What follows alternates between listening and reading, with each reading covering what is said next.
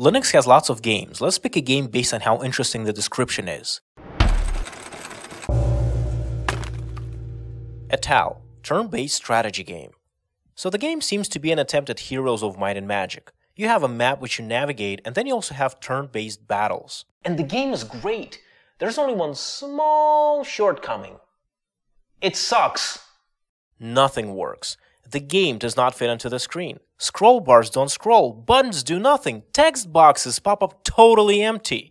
And if you want to make sure you're doing everything correctly, well, there's a manual. Yeah, like why would anybody want manual that contains text?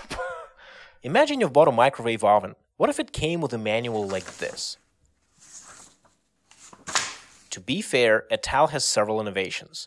One, you can remove fog of war by simply considering where to go. wow. Two, you can lose just by moving around on an empty map. Whoa. Three, they actually call it a game.